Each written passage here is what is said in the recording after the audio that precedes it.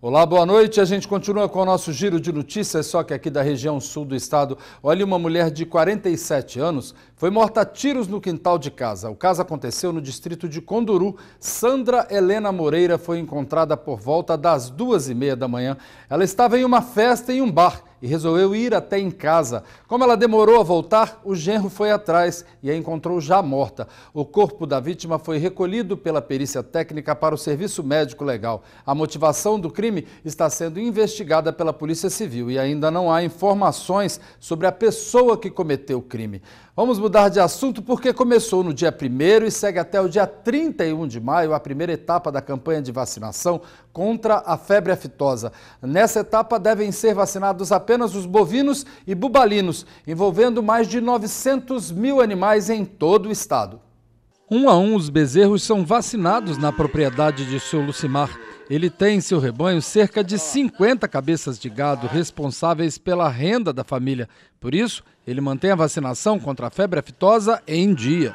É importante para manter o, o, rebanho sempre limpo né, dessa, dessa doença que hoje não está tendo mais no Espírito Santo. E além de eu precisar dela em dia, que é bom, eu trabalho com queijo, trabalho com água indústria de queijo, então para mim é uma necessidade de estar tá fazendo para jamais ter esse problema na minha propriedade. A campanha é anual e é dividida em duas etapas. Nessa primeira etapa estão sendo vacinados os animais até 24 meses. É importante a gente lembrar que nessa campanha a dosagem da vacina mudou, passando de 5 ml para 2 ml.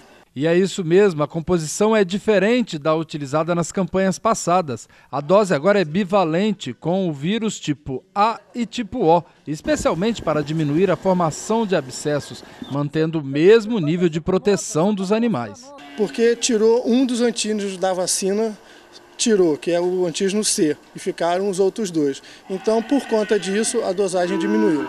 Nessa etapa, devem ser vacinados apenas os bovinos e bubalinos. A doença está erradicada no Brasil desde 2006.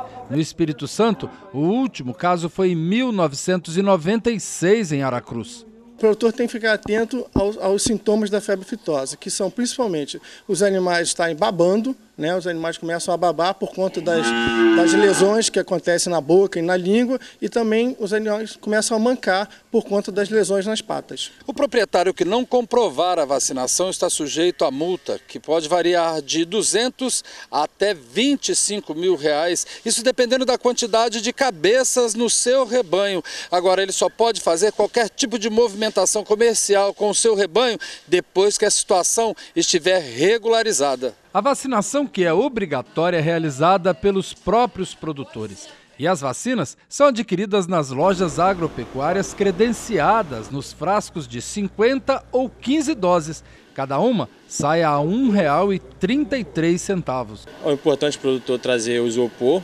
porque sem o isopor a gente não pode vender a vacina. Ele tem que manter no gelo, porque essa vacina não pode esquentar.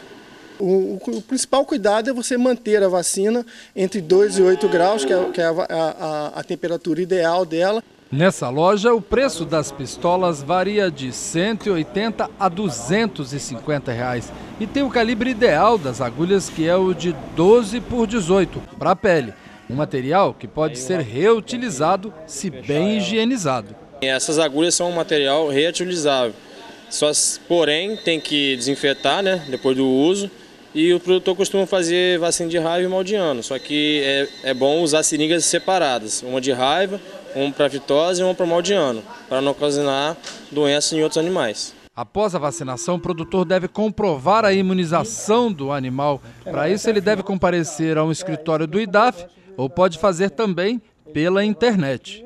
De posse da, da, nota fiscal de compra da vacina e da quantidade de, do, dos animais do rebanho dele, ele, ele vai fazer essa comprovação, seja no escritório, seja online. O proprietário dos animais vai precisar levar a nota fiscal, um documento de, de identificação dele e, e uma declaração de vacinação. Com certeza, prevenção é o melhor remédio. O Espírito Santo mantém o status de zona livre de febre aftosa com vacinação com reconhecimento internacional desde 2001, o que é fundamental para mantermos a habilitação do Estado em exportação de carne bovina para mercados mais exigentes, como a União Europeia e o Chile, por exemplo. De Cachoeiro de Itapemirim, nós voltamos à vitória.